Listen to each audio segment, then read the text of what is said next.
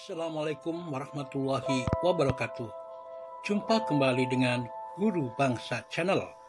Channel yang ikut serta dalam mencerdaskan kehidupan bangsa. Bagi Anda yang belum subscribe, silakan subscribe sebagai tanda kerjasama kita dalam membangun channel ini. Klik like and share agar manfaat dari konten ini dapat tersebar lebih luas. Semoga sharing konten bermanfaat ini mendapatkan pahala amal jariah dari Allah Subhanahu wa taala. Amin ya robbal alamin. Guys, kali ini kami akan memaparkan tentang sukun.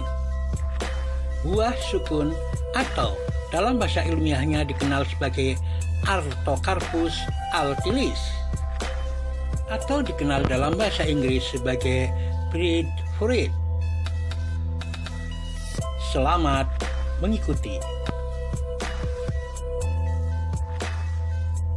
Selanjutnya kita akan bahas kandungan nutrisi dari sukun.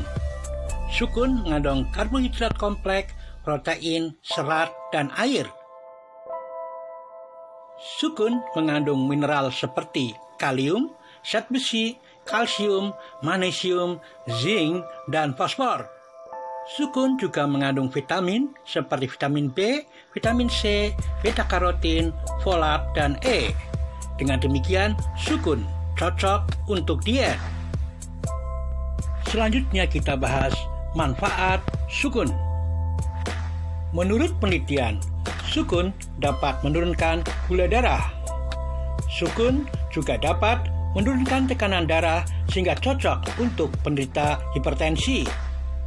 Sukun dapat mengurangi peradangan atau sebagai anti-inflamasi. Buah sukun juga bermanfaat untuk melindungi kesehatan jantung. Sukun sebagai pencegah pertumbuhan sel kanker. Sukun dapat pula mengobati asam urat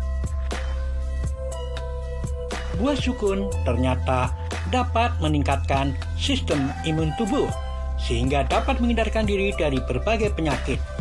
Sukun melawan radikal bebas untuk mencegah ketuaan dini. Sukun juga kaya akan omega 3 dan omega 6 yang berfungsi untuk meningkatkan kinerja otak dan kinerja liver.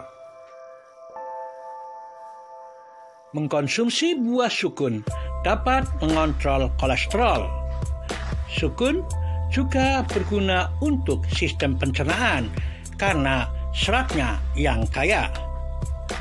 Juga dapat sebagai sumber energi tanpa menambah jumlah kalori.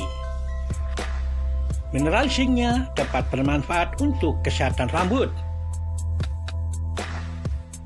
Sementara itu, mineral zinkum, potasium, ferum, dan kalsium sangat terkait dengan masalah seksualitas lelaki.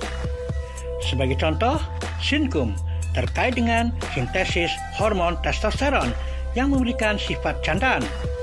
Sementara itu, potasium terkait dengan proses ereksi yakni perenggangan pembuluh darah dan ferum terkait dengan sintesis darah untuk ereksi maksimal. Demikian pemaparan kami. Thanks for watching.